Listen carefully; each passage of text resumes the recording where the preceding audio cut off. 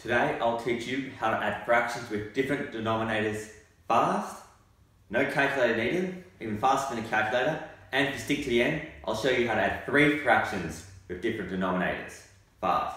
Alright, so let's get straight into it. Alright, 3 quarters plus 2 over 5. So when we're adding fractions with different denominators, you're taught find a common denominator, transform that fraction into that denominator, and then that one as well. Now that process is pretty straightforward, but what I find a lot of students struggle with is finding that common denominator and then having to times top and bottom by what that what number, right? So we've got a much faster method. Ready? So we're going to use cross multiplying. So how it works is you're going to times these together. That's your new denominator. And then to get what's on top, it's going to be that times that.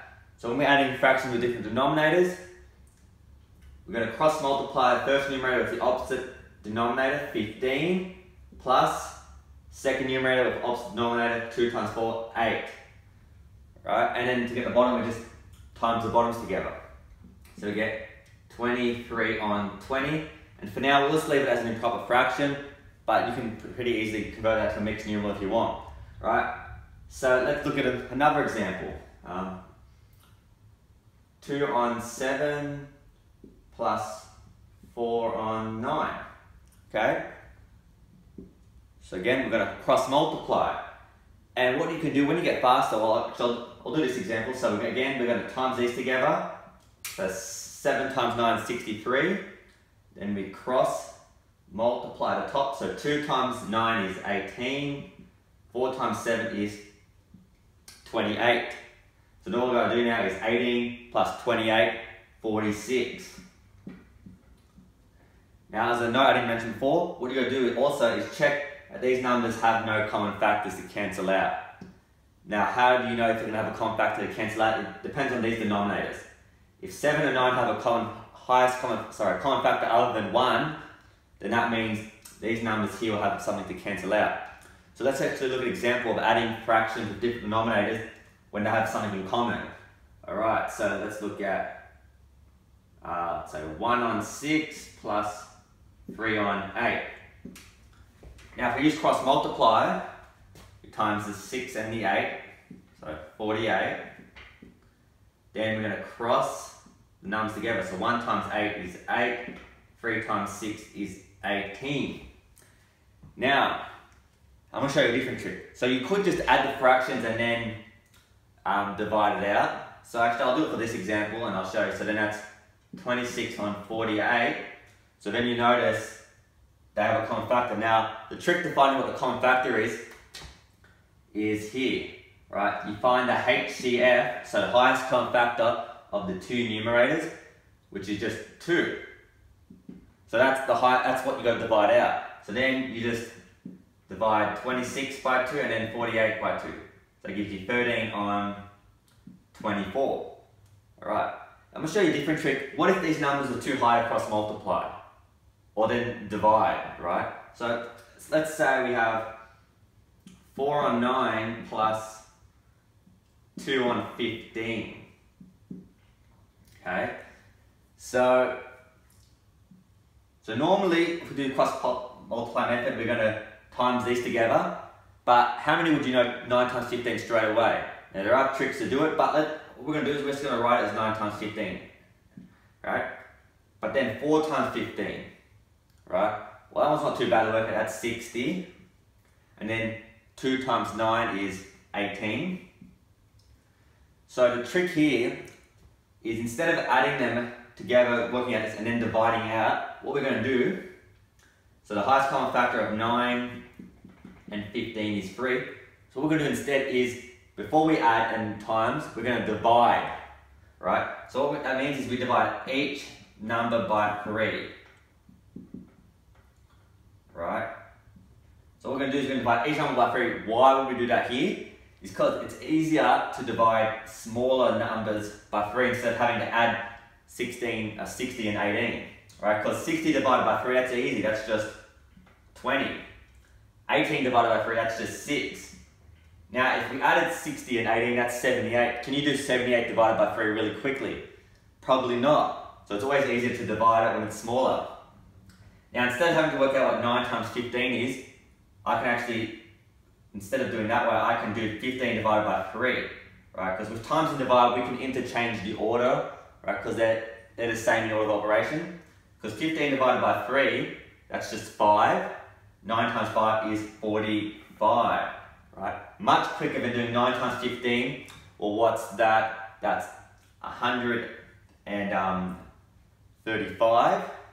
right? And then 135 divided by 3, well, I doubt you can do that quickly, right? So, much quicker to divide. And then we just simplify, we get 26 on 45. That's our final answer, nice and simple, right? So this process, when the number's getting really high, is to divide out each term by a highest common factor. And even the denominator, don't even do the product, 9 times 15. If you, if you can't do that product straight away, write it down and then divide the higher number, because it makes the product, because if you did 9 divided by 3, 3 times 15, that one's actually tricks some people. That's not easy, as easy as 9 times 5. So always divide the higher denominator by the highest common factor, or make this product much easier. Right? So I've just shown you how to add fractions with different, different denominators fast. Let's step it up. Let's look at how to add three fractions with different denominators fast. Right? And spoiler alert, we use the same process but in a slightly different way. Alright, so when we're adding three fractions with different denominators, let's just look at a simple one. Right. What we do is we times each denominator together, right? Same process here, we times each denominator together. So 2 times 3, 6 times 4, 24. But then what do we do on top? Because normally if there's no 4 then we just cross multiply. But because there's an extra fraction, what you're going to do is you're going to do numerator 1 times each other denominator. So it'll be 1 times 3 times 4. What's that? 12, right? 1 times 3 is 3 times 4 is, let's put arrows just here, 12. What do we do in the middle? Same thing. So whatever numerator you have, you just times it with every other denominator that's not there, right? So it'll be 1 times 2, 1 times 4. Right, so 1 times 2 is 2, times 4 is 8. And then the same thing with the third denominator.